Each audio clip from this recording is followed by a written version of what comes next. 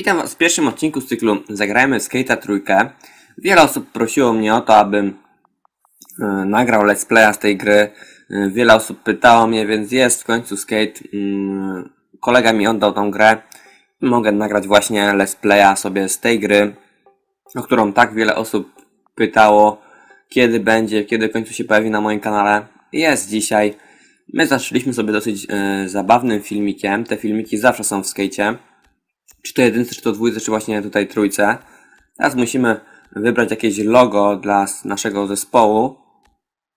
Nie, nie miałem pojęcia jak nazwać ten zespół, więc wybrałem po prostu e, to, co widzicie. Tutaj mamy oczywiście loga, które możemy sobie wybrać jako logo tego zespołu, ponieważ e, w skate trójce, w przeciwieństwie do dwójki, jedynki, nasza gra też będzie się tutaj opierała na takiej jakby zawodach drużynowych, gdzie będziemy nam zbierać drużynę i walczyć w jakichś turniejach.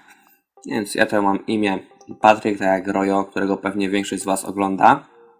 Więc takie imię sobie wybrałem. No i tu musimy teraz ubrać jakiego, jakoś swoją postać. E, oczywiście możemy też zagrać kobietą. Ja grałem kobietą już jak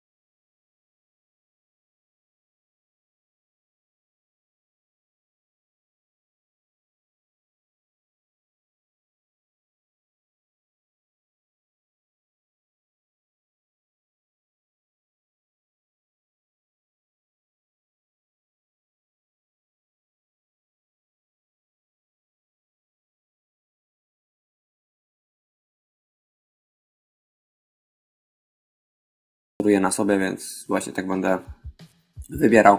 Ta twarz mi się pierwsza podobała, ale wam pokażę, jakie są jeszcze możliwe. Ta moim zdaniem jest najlepsza i tą sobie wybiorę. I tego nie będziemy modyfikować, bo tego praktycznie grając nie będzie w ogóle widać. Ponieważ gramy za postaci, tutaj jeszcze jest też zarost.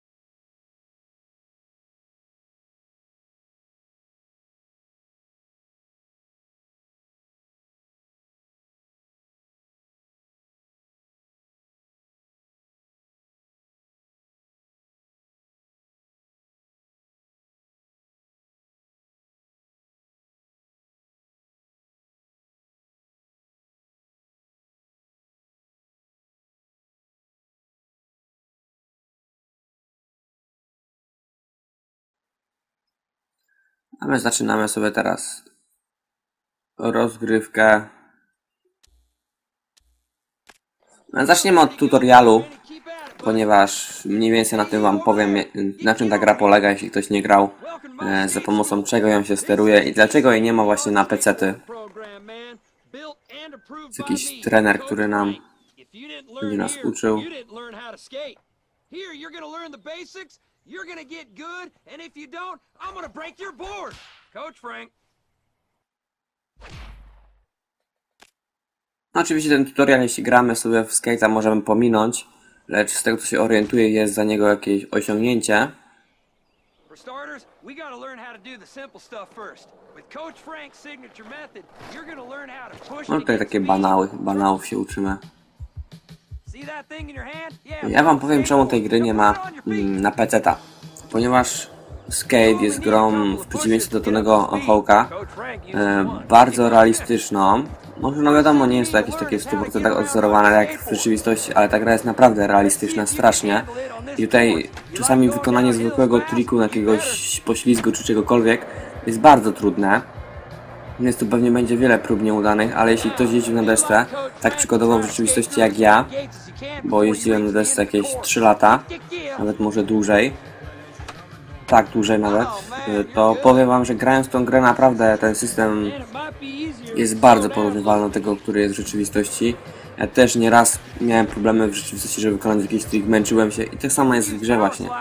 E, Co za tym idzie, żeby to było bardziej realistyczne, mm, triki wykonujemy za pomocą prawego analoga, czyli po prostu, no to zaraz zobaczymy, bo to na razie jest jakiś tylko po prostu samouczek odpychania się deski, czy jakiś banał. A chcę wam pokazać tutaj po prostu wszystko, co jest możliwe w tej grze do zobaczenia. Przedstawienia wam naprawdę tej gry od podstaw. Dobra, tutaj ten tutorial ukończony jest.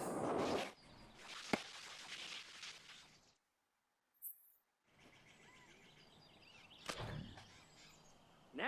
that you can skate around, you need Tutaj będziemy teraz się uczyli skoku, ale sami zobaczcie, tutaj mamy taki, takie kółko. I te kółko jest odzwierciedleniem tego prawego analoga, tak? Czyli praktycznie- wykonując skok musimy dać analoga w dół, w górę. Czyli odwzorowujemy ten prawdziwy skok, tak? Tak samo musimy wykonać w rzeczywistości właśnie skok. E, A nie ma tak jak przykładowo jak w Tonem Hawku, że naciśniemy tylko A i ten skok sam się zrobi. Tutaj jednak musimy właśnie wszystkie triki robić za pomocą pra prawego analoga. I to jest bardzo realistyczne, to jest świetny moim, moim zdaniem pomysł na to, żeby e, taką grę stworzyć. Dzięki czemu ta gra jest naprawdę realistyczna i każdy kto jeździł na desce oraz ja tu się cofnę, bo chyba nie trzeba do końca dojechać. I każdy kto jeździł na desce w rzeczywistości i grał w skate'a, powiem wam, że naprawdę ta gra jest fajna pod względem tej realistyki. Nie, to chyba będę musiał się zwrócić, żeby dokończyć tamto. Każdy, kto grał, na pewno wam to powie. Dlatego tej gry nie ma właśnie na PC, tak, ponieważ no nie da się odwzorować tego żadnym klawiszem. To musi być właśnie taki przycisk analogowy. Można by było robić to pomocą myszki, tak, ale y, te ruchy nie byłyby nie byłyby takie realistyczne, ponieważ na myszce nie ma jakichś ograniczeń, które ograniczenia mają właśnie analogi. Ponieważ tam za jakąś część tylko można wyjechać na tym analogu. Już widać, widać metę. Dlatego tego skate'a nie ma i wątpię, żeby kiedykolwiek był. Wiem, że skate jest też jeszcze chyba na Skate It, to jest chyba na Nintendo DS-a czy iPhone'a, z tego co się orientuję. Wiem, że na coś z dotykiem na pewno jest. Seen hot dogging like that since 1978. Dlatego, no, można by powiedzieć tak, ale no przecież na PC tak można, można grać za pomocą pada, tak? Ale nie każdy tego pada ma. I teraz ludzie kupujący tą grę, nie mający pojęcia o to, że potrzebny jest pad, kupią tą grę i potem jeszcze będą narzekać, że muszą dodatkowo kupić pada. Poza tym, jeśli gra wychodziłaby z padem jednocześnie, specjalnym do skate'a, przykładowo tym Xboxowym na przykład, no to zobaczcie jaka cena by była wysoka. Gra kosztowałaby stówę, pad by kosztował dwie stówy, gra kosztowałaby 300 zł. Wątpię, że ktoś na PC-tach e, kupiłby tą grę. I każdy też posiada pada, za tym idzie właśnie no, taki moim zdaniem taka opcja przy tym odpada. Poza tym e, twórcy, którzy e, robią tą grę, wiem, że to jest EA Sport, ale tutaj e, studio konkretne Black Box robi wszystko, co jest wyłącznie na y, konsolę.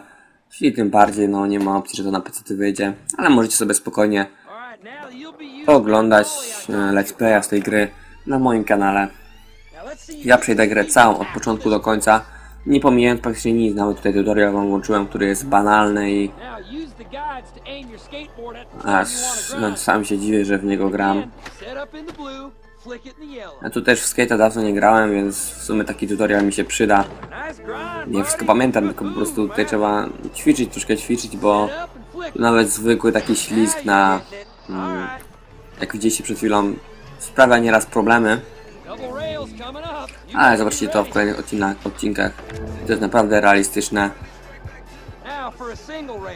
i świetne moim zdaniem. Wiadomo, Tony Hawk to jest taki arcade, tutaj bardziej jest y, nastawienie na symulację. Y, gra jedynka, dwójka była łatwiejsza niż trójka, jeśli chodzi o to, o to skakiwanie i tak dalej. Tutaj trzeba troszkę, znaczy jakiejś dużej różnicy poziomu nie ma, ale po prostu trzeba bardziej się natrudzić, żeby na to wskoczyć. I to jest fajne, że nawet zwykłe skoczenie na e, jakąś Nice sprawia problemy.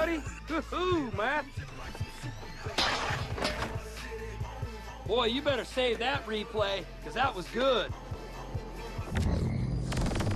And I can't believe you finished. Good job, fella.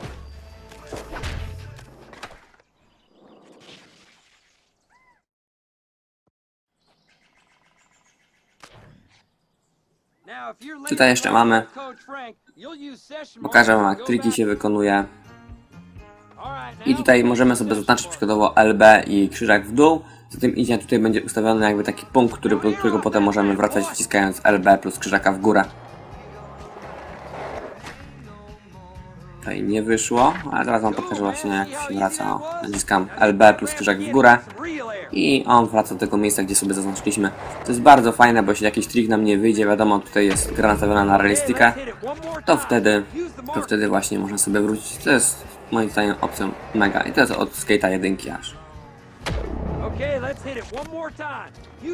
Ja wam pokażę dzisiaj tylko tutorial, bo ten odcinek już będzie trwał jakieś 20 minut, jeśli ja to wszystko potem zmontuję. Więc ja się z wami będę żegnał i zapraszam was oczywiście do kolejnych odcinków. Pojawi się jeszcze może dzisiaj odcinek, ewentualnie jutro. To tyle. Cześć. Jeśli jesteś pierwszy raz na moim kanale i spodobały Ci się moje produkcje, subskrybuj mój kanał, aby być na bieżąco. Zapraszam Cię również na mojego fanpage'a na Facebooku.